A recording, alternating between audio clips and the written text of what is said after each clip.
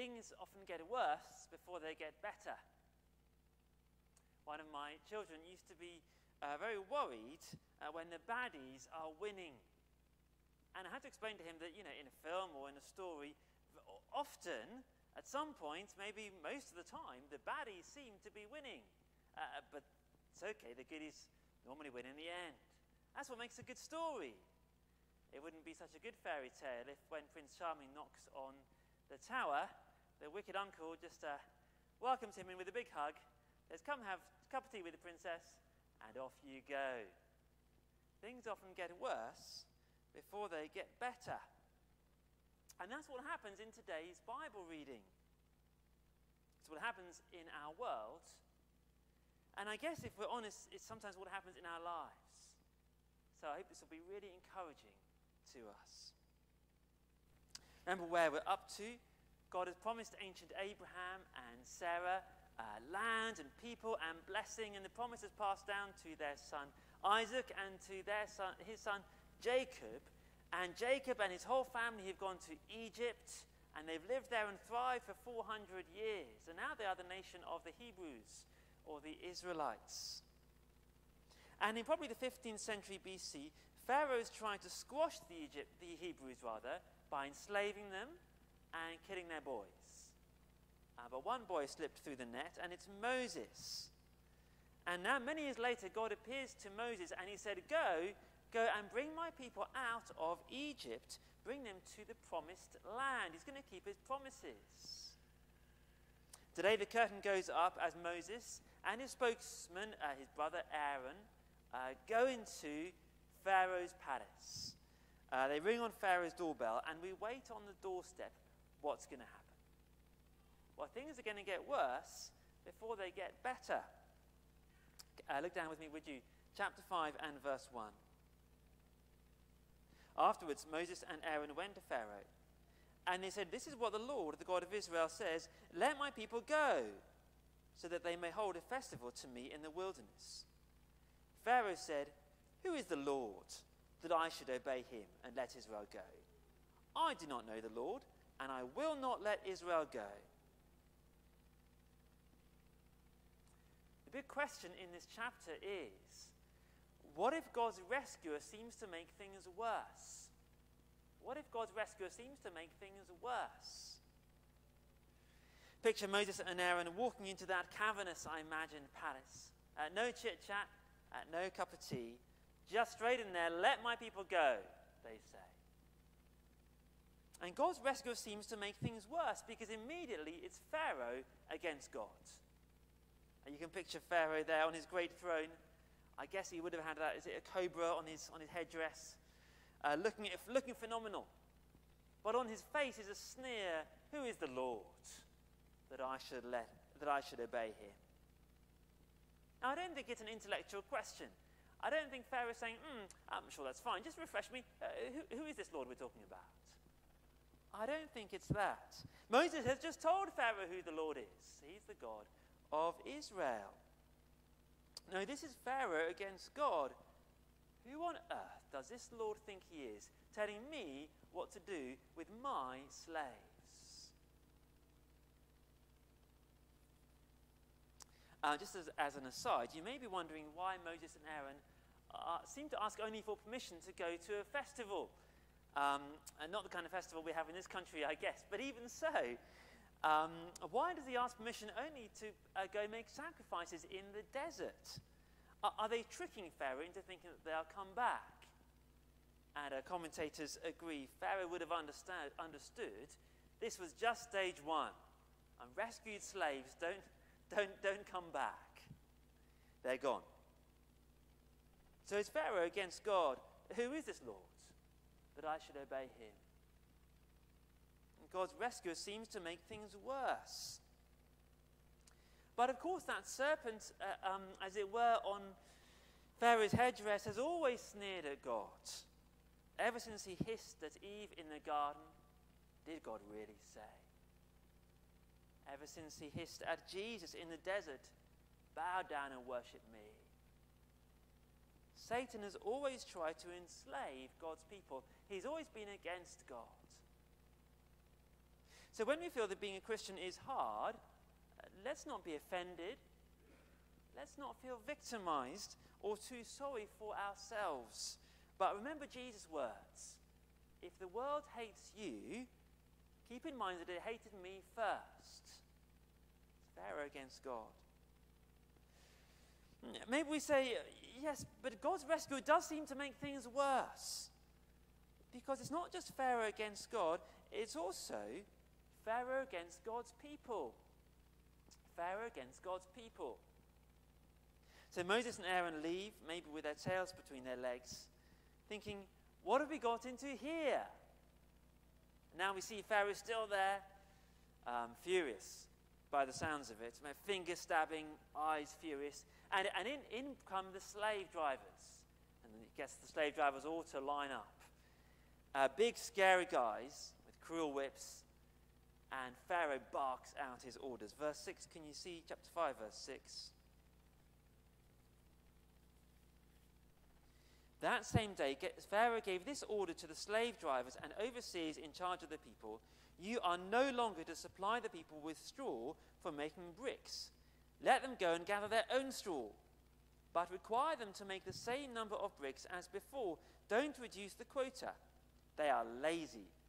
That is why they're crying out, Let us go and sacrifice to our God. Now it really is Pharaoh against God's people. Can you picture the Hebrews' um, uh, backs breaking out in those sun baked fields? And they've been used to, to mixing that mud. I don't know whether they trampled it with their feet or how, somehow making uh, those bricks. They're used to that, but they need, they need um, straw to reinforce those bricks. And suddenly, Pharaoh makes their work twice as hard. They've been used to the lorry load of straw arriving each day to, uh, enough straw for the day. But now he says, No, you go and fetch the straw for yourselves. And you can imagine them running around like headless chickens, like a DVD on fast forward, because Pharaoh says, You've got to make them at the same rate, but you've got to get the straw too. And now, verse 14, because they can't do it, the Hebrew managers, so the Hebrew kind of overseers, they're getting beaten up by the Egyptians. Pharaoh against God's people. Still today, Satan is against God's people, isn't he? Uh, 5,000 Christians in Myanmar uh, flee after the army bombed their village. Every week brings news of more Christians killed in Nigeria. By comparison with that, we have it relatively easy, don't we? But still, maybe we feel sometimes like following God's rescue seems to have made things worse. Like following Jesus sometimes has maybe brought us more trouble. Maybe as our culture and our laws slowly move away from their Christian tradition, we can foresee a day when some Christian practices or beliefs may become illegal. Maybe we've ex- experienced a coldness or barbed comments or even rejection from friends or loved ones uh, for following Jesus. Maybe our Christian service has cost us or cost our loved ones a lot of time or money um, or stress. Maybe the Bible's teaching on relationships seems painful. Maybe we feel torn between two masters, torn between Jesus and the world. And will we act with integrity? And that tension is exhausting. But as the Bible says in 1 Peter chapter 4, don't be surprised at the painful trial you are suffering, as though something strange were happening to you. Pharaoh against God, Pharaoh against God's people. And sometimes it's God's people are against God's rescuer. God's people against God's rescuer. Look down, would you, at verse 20. When they left Pharaoh, they found Moses. This, this is the, the Israelite overseers who are being beaten up, okay? Verse 20 When they left Pharaoh, they found Moses and Aaron waiting to meet them, and they said, May the Lord look on you and judge you. You have made us obnoxious to Pharaoh and his officials, and have put a sword in their hand to kill us. Moses returned to the Lord and said, Why, Lord? Why have you brought trouble on this people? Is this why you sent me? Ever since I went to Pharaoh to speak in your name, he has brought trouble on his people, and you have not rescued your people at all.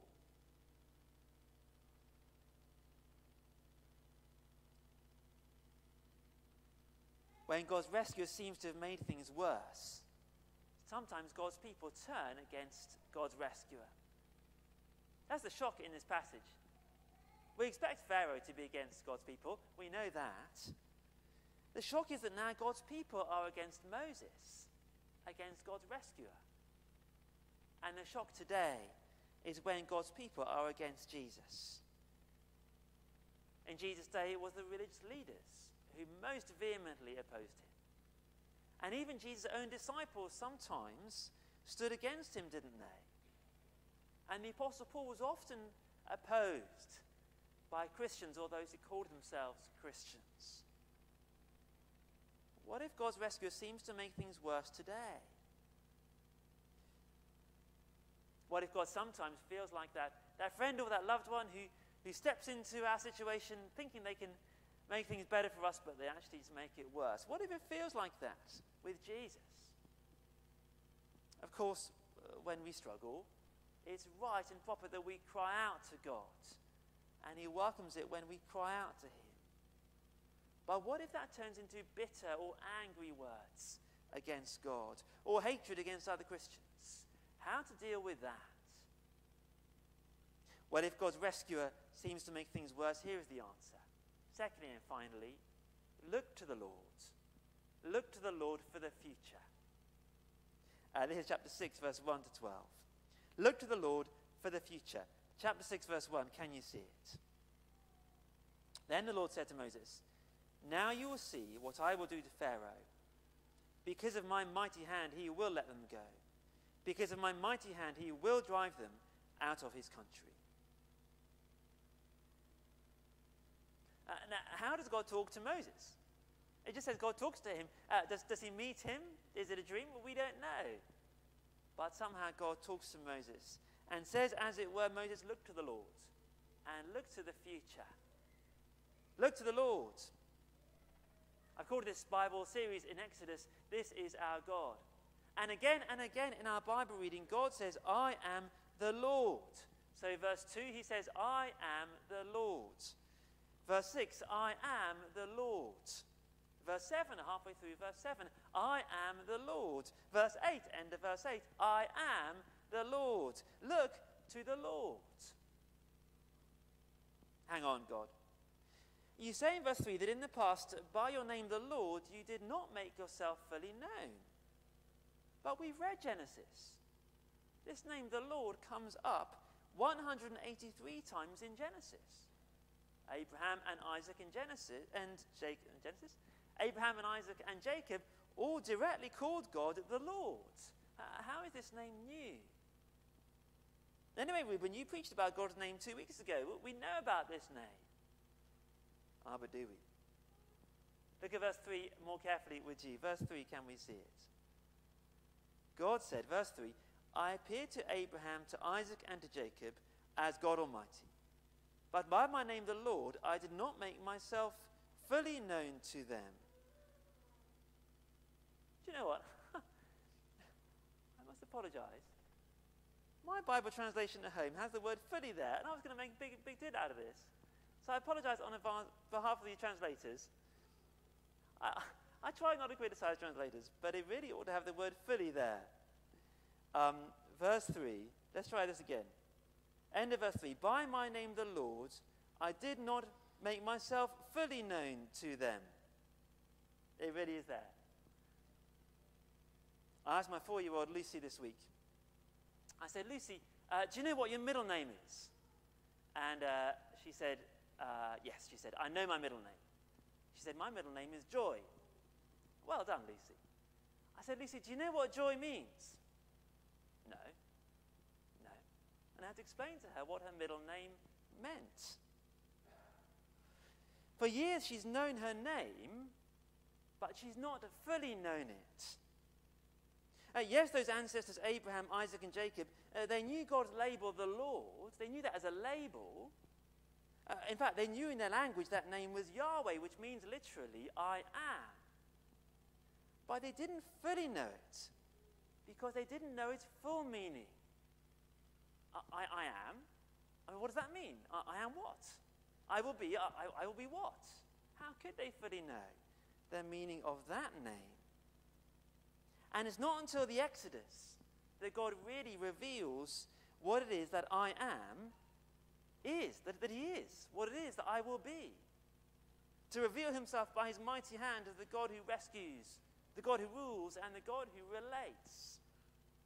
I am the Lord.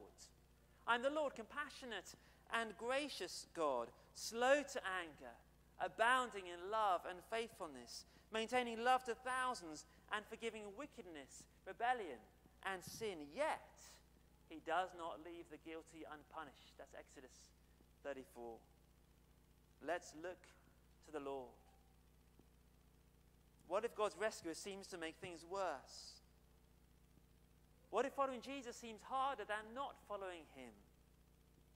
Let's look to the Lord.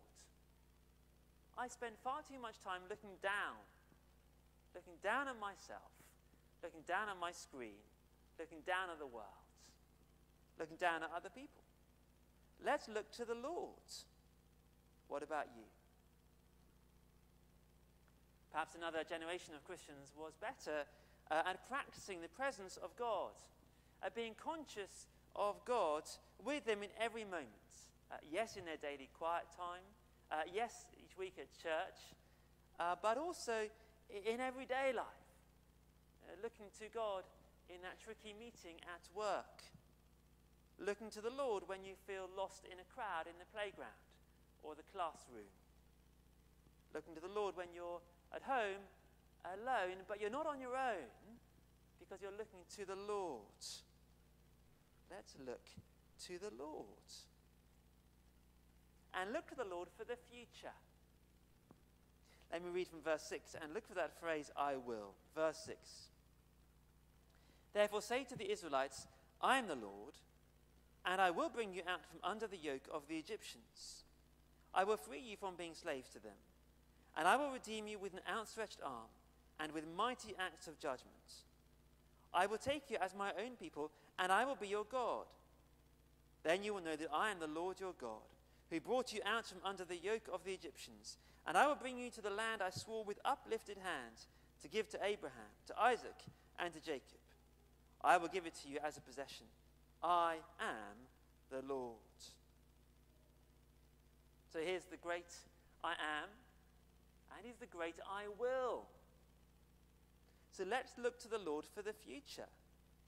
I will bring you out, I will free you, I will redeem you.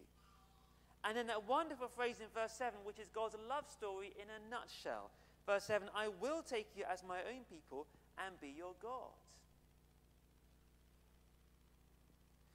Now, in a sense, as Christians, we look back to the future in a sense, we look back to God's promises coming true when Jesus lived and died, and uh, died in our place, and buried our, our, our, blame and our shame uh, in the ground, and, and rose from the dead to prove he is the way back to life, and ascended to reign. In a sense, sense, we look back to the future. If we've entrusted our lives to that risen Saviour as our Lord, then we have been rescued uh, from sin and death and judgment in that sense, we look back. But in another sense, Christians still look forward to our rescue in the future. God says, I will bring you to the land I swore with uplifted hand to give to Abraham, to Isaac, and to Jacob. And even that promised land with its, its um, streams of milk and uh, honey, so to speak, was just an architect's sketch of the vast and glorious new heavens and new earth that God will bring that Jesus will bring any moment now. So look to the Lord for the future. God says in the Bible, Dear friends, now we are children of God, and what we will be has not yet been made known. But we know that when Christ appears, we shall be like him, for we shall see him as he is. 1 John chapter 3.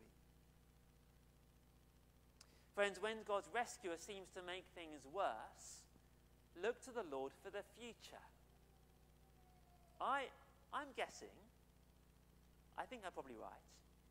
I'm guessing those Christians driven from their homes in Myanmar, those Christians who've lost, lost loved ones in Nigeria, I'm guessing they think about the future, about heaven, more than we do. Uh, because they're less distracted by the things of this time than we are. Sometimes Christians are accused of being so heavenly minded that they have no earthly use. But if we are truly heavenly minded, then it will be of true earthly use. It's a bit like um, imagine uh, uh, you, you, you're tidying your house, or maybe someone you live with is tidying your house, and um, uh, the, the, you get out everything, and they get out everything and lay it everywhere, and it looks worse. You come and you're like, what are you doing here? You've made, you've made a bomb site. Um, but there is a method in their madness, and um, uh, it, it, uh, they've got a system, and, and it will soon be tidy. Get worse before they get better. But if I have no vision of the goal, I, I won't understand what's going on here. But if I have a vision, oh yeah, they're making the room tidy, then I'll trust them and go with it. See, what were the Hebrews meant to do with God's revelation? Were they meant immediately to down tools, pack their swimming costume, and uh, head off into the sunset? Not yet. For now, I guess they were to carry on making bricks and fetching straw. But they were to make bricks with hope and not fear. They were to make bricks knowing their true identity, that they were not slaves of Pharaoh, but slaves of the Lord. To make bricks not for the present pride of Egypt, but for the greater glory of God. To make bricks today, knowing that rescue would come tomorrow, looking to the Lord for the future. How can we look to the Lord for the future? Maybe God is calling someone here into full time gospel ministry of some kind. I have a word if that's you. But for many of us, the application is to keep going, to keep making bricks uh, in whatever way we normally do at work, at school, in college, in retirement. But to make bricks with hope and not fear, knowing our identity does not come first and foremost as a bricklayer or whatever we are, but first and foremost as a servant of God. Living not for the pounds or the power or the prestige, but living for the glory of God. Making bricks today, knowing that Jesus could come tomorrow. Looking to the Lord for the future. So things get worse before they get better. And one of my boys used to worry when the baddies are winning. But now he knows not to worry when it looks like the baddies are winning, because that means you're, you're maybe near the end and it's maybe about to get exciting. It's okay, the goodies win in the end. So, what if God's rescuer seems to make things worse? Let's look to the Lord for the future. Until the day when the Lord Himself will come down from heaven, and the dead in Christ will rise first. And after that, we who are still alive and are left will be caught up together with them in the clouds to meet the Lord in the air, and we will be with the Lord forever. 1 Thessalonians chapter 4.